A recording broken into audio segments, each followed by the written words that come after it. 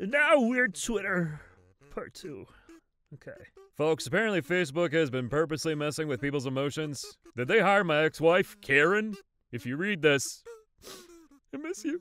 Boss tells me I can kiss my ferrets at work, but no open mouth. I'll punch the force so hard a screensaver deactivates. Hello, this is your captain speaking. I have uh, fallen out of the plane. Yikes. Well, very impressed with the range on this uh, Bluetooth headset, though. Buckle up. Mm-hmm. Kellogg's Special K. That's what Queen Elizabeth has for breakfast. In a yellow Tupperware bowl. I've been underestimating myself for far too long now. The worst part of nationalism is having to pretend the flag is really good. Like, yeah, the country looks exactly like that. They nailed it. In college, my professor walked in dressed as Snape and told us to turn to page 394.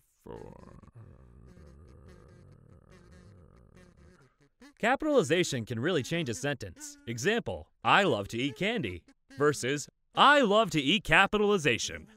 Ask the bud and Krispy Kremes for five Nutella donuts, and she says, Have you got any nut allergies? Hi, pal, I'm planning suicide by donut. Exactly. Children crying as stepdad attempts to overturn custom t shirt mall kiosk that accidentally typed number two dad on his photo. Stepdad also crying. Oh boy, lunch! Let's see what mom packed. Hope it's not just a note that says I'm a punk ass buster. Uh, okay, it is that note again. Well, tomorrow is a new day. Damn, girl, are you a kids' movie from my generation? Because you're fun and cute, but also horrifying in so many ways I didn't originally realize.